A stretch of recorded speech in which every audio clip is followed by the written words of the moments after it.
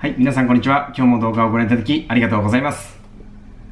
えっ、ー、と、僕はですね、普段ミニマリストとしてのライフスタイルを楽しんでいるわけなんですけども、まあ、この動画を見てる方はですね、こう、ミニマリストになろうと思って今ちょっと興味があるところなんですよっていう方だったりとか、あとはミニマリストちょっと始めてです。これから、あの、どんどんどんどん、あの、やって活動していきますっていう方だったりとか、あとは、ミニマリストってよくわかんないな、なん、どんな人種なんだろう、ちょっと覗いてみるか、みたいな。いう感じの方ですとか、まあそういった方がですね、今、この動画を見てるんじゃないかなというふうに思います。で、僕はですね、まあ、ミニマリストとしての、まあ、経験だったりとか、えー、現状だったりとか、あの、ネガティブ、ポジティブなところも全部ちょっとさらけ出していこうというふうに思ってますんで、えっ、ー、と、まあ、気軽にですね、リラックスして聞いていただければなというふうに思います。で、今回ですね、僕がやってしまったミニマリストとしての失敗談をですね、ちょっと一つ、あの、シェアしたいなというふうに思います。それはですね、まあ僕がミニマリストを始めて1ヶ月ぐらい経った頃ですね。まあ実際そのミニマリスト、まあ物を思いっきり捨てて、あとはもうほんと必要最低限なものしか買わないっていうライフスタイルをしてから収入が倍、倍、倍、倍ってなってな、なってったんですけど、やっぱそのうまくいったわけなんで、その周りにも進めたくなるんですよ。あの、まあこれは男としての修正もあるんですけど、自分がやってることを相手に進めたくなるっていう。まあそれはありました。で、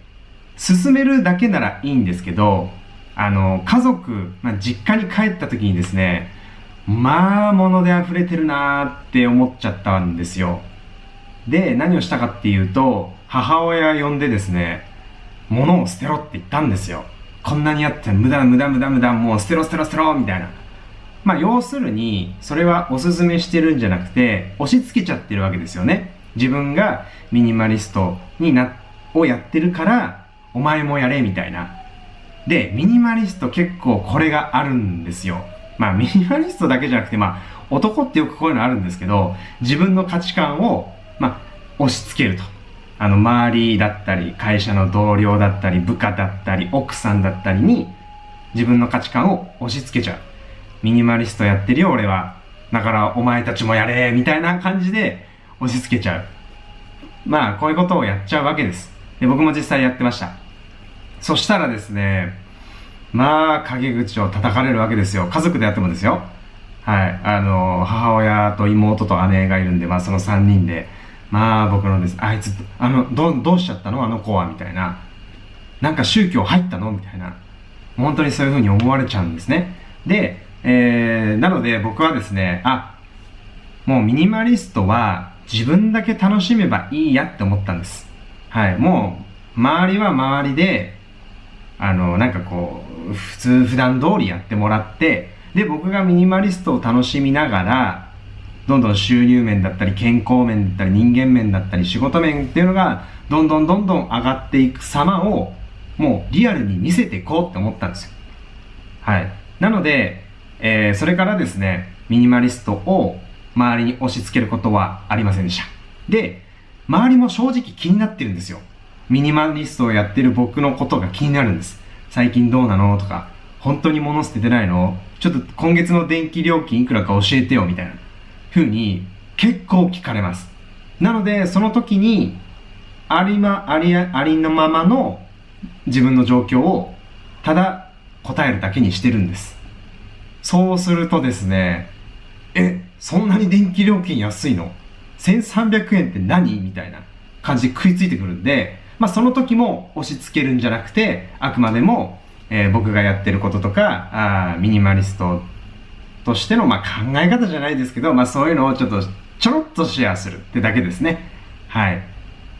まあ、そんなことをやっていくとですね、もう全然そのミニマリストとしてのその自分も苦しくないですし、周りのその、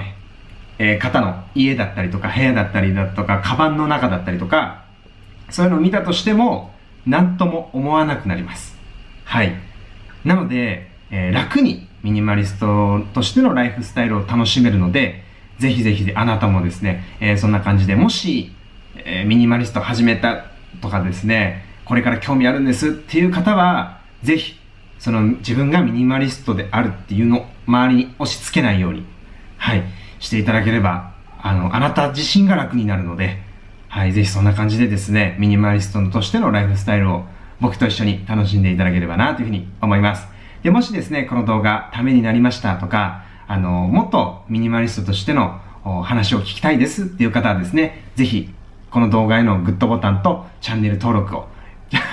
ちょっと順番がなんか逆だった気がしますけども、チャンネル登録とグッドボタンの方、よろしていただければ、えー、とても嬉しく思います。はい。ということでですね、えー、今回も動画をご覧いただきありがとうございました。